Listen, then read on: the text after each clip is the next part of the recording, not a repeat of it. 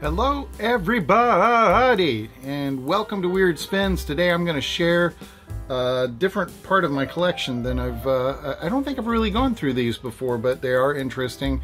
Uh, hip Pocket Records, uh, sometimes just called pocket discs depending on who the label was.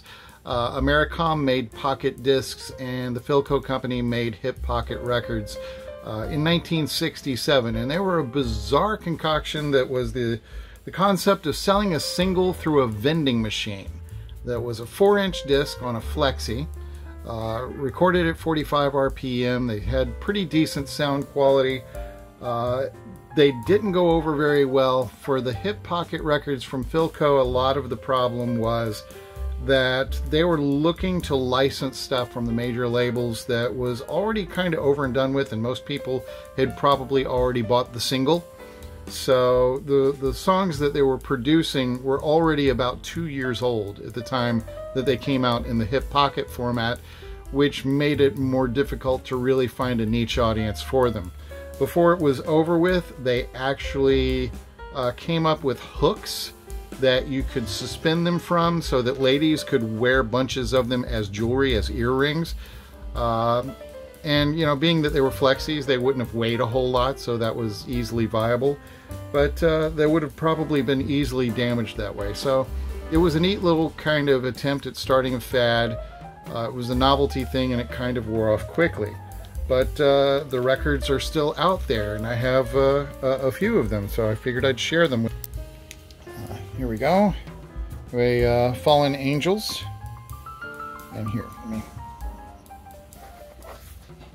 there you go. And uh, let's see, this is the one that I'm actually most happy with having found. Got Aretha doing Respect. And unfortunately, all of these were opened by somebody who split the bottom. Very nice. Calm down. Got a Bo Diddley. And uh, I just uh, saw a video from about a year or two ago by uh, Cosmic Brian, and he was talking about Keith and this very song, 98.6. So there's the hip pocket record of that. And, you know, the, the backs of them were very simple. That's for single play phonograph only. You could play on a regular phonograph, but they also made custom phonographs that were actually built for these things. I got a Tommy James, as in Tommy James and the Shondells. Uh, and lastly, Jay and the Techniques. So pretty cool little items. Uh, one second. And it's a it's a cute little thing. Again, it's a flexi, so I'm not gonna bow it because I don't too much because I don't want to put a ding in it. And there you go. Hip Pocket Records. There were a number of other artists, uh, the Shirelles, the Isley Brothers, uh, Neil Diamond, Otis Redding, and Americom even had a deal worked out. These are probably some of the most valuable.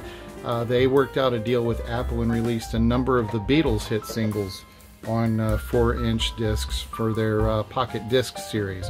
So there's some really interesting stuff out there to find in these and they're just really cute and interesting as a sort of an offbeat format thing and kind of fun to collect. So that's that's how I wound up with this little stack because I just love anything that's weird formats and, and, and strange packaging and ideas. Uh, that's it for Weird Spins and we'll see you again real soon.